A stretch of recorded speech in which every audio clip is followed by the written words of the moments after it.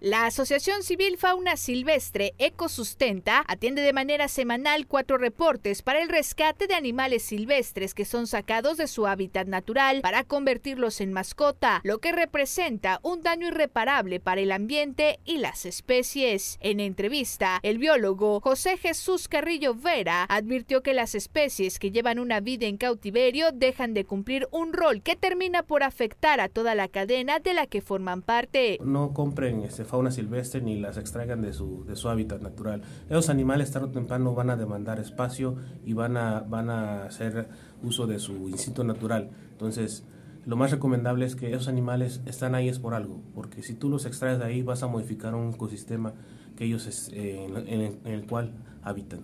Las especies mayormente rescatadas son boas, cocodrilos, lacuaches, mapaches, tucanes y loros.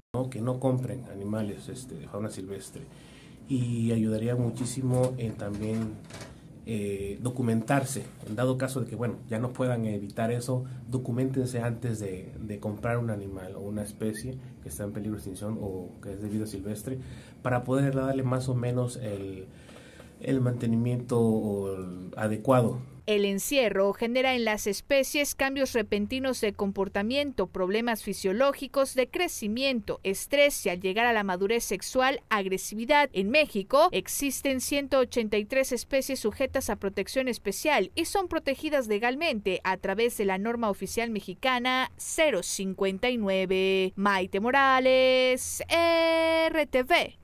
Más noticias.